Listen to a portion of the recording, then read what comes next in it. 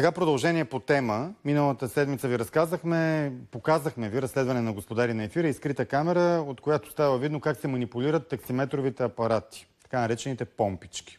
Репортерът Боби Ваклинов успя да открие човека, който монтира тези помпички, които напомпват сметките ни в пъти. И ето какво се случи при тяхната мила среща.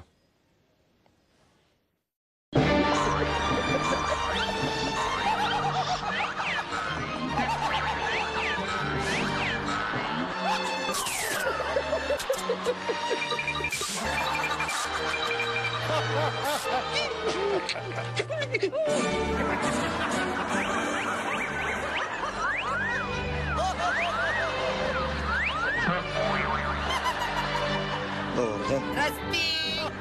Нося на ремонт този двуклетъчен касетофон. Изведнъж тази последна дума на техниката предаде Богодух.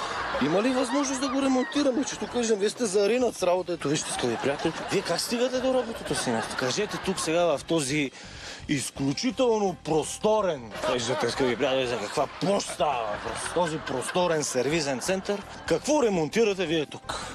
Тръгвате ли? Да. А, Какво друго ремонтирате, освен тези работи? Може да излезе. Еми, трябва да проведем интервюто. Добре, нека да обмислим. Виждал съм отвън. Акустирали, само момент, само момент, че нещо ми се схвана крака, не мога да се мръдна, разбирате. Акустирали таксита съм виждал. На тях ремонтирате ли нещо на таксита?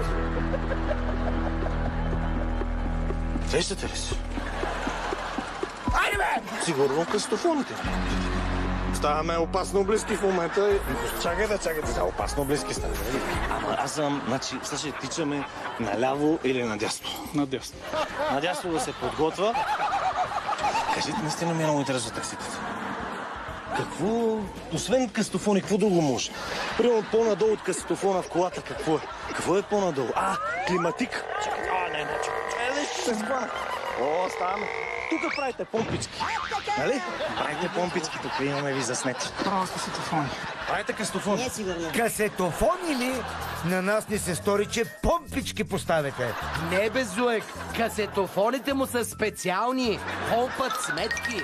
Помп, помп, помп, помп, помп. Имаме ви заснети тук, в този сервизен център в Надежда се правят помпички за таксита. Ето този господин. При вас помпичката е 100 лева. Давате едно дистанционно, цъкаш, натискаш веднъж, натискаш два пъти, един километър. Айде 77 стотинки отгоре. 20 човека днеска така. Айде да ги закръгим към лев, че може да натиснеш три пъти. Ето ги 20 лева.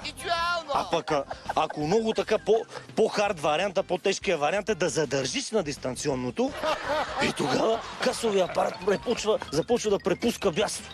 Кажете сега от кога е това с тези помпички? Да чуем какви са впечатленията на един евродепутат от страната ни. Ето това беше първото, което видях в България. Това е сметката от таксито, което ме докара от летището до центъра. Тук пише 105 лева. Колко помпички са произведени тук? И сега аз виждам, че сте заели а, поза на Сократ в момента.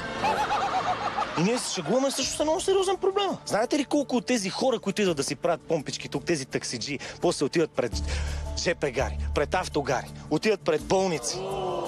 Защото за една баба, за един болен човек има значение дали ще му вземеш 5 или дали ще му вземеш 10 лева. За 5 лева той си купува ядене днес, че и за по-малко пари. Вие сте затънал до гуша в работа, ми правите помпички. И то е ясно да изкарате едни 100 лева. Ма господине, всички е за това, тая държава е на това да рече. Имаме за след, както идва един човек, тук се оговаря, поръчва си помпичка, дава капар от 30 лева и след някой друг път, след някой друг ден идва и си я взима. Помпичката е монтирана и дерек хората. Наистина, знаете ли, най-абсурдното е, че докато некоректните таксиджи могат да ги глобат между 200 и 500 лева, за това, че имат помпичка, вие сте неуловим. Телефона ли сме? Поредната поръчка, поредната помпичка сигурно е готова и да я взема. Кимнете, ще правите ли помпички за напред? Това означава не. Това обаче, ако сме в чужбина, може да се разчете по друг начин. Слагаме печат, че няма да правите повече помпички. Отворните. А е плюс това, какво ще правим с този кастофон? А тук дали някаква помпичка на него да забързаме оборотите. А ти си помпа, помпа. Е, това, скъпи приятели, да видите, това значи да си затънал до гуша в работа. И ще ти не можеш дори да влезеш. От меката рая на помпичките тук в квартал Надежда за господари на ефира. Това са нас Бой Ваклинов, чийто касетофон остана неремонтиран. Господари на ефира и поредицата им за така наречените помпички в такситата.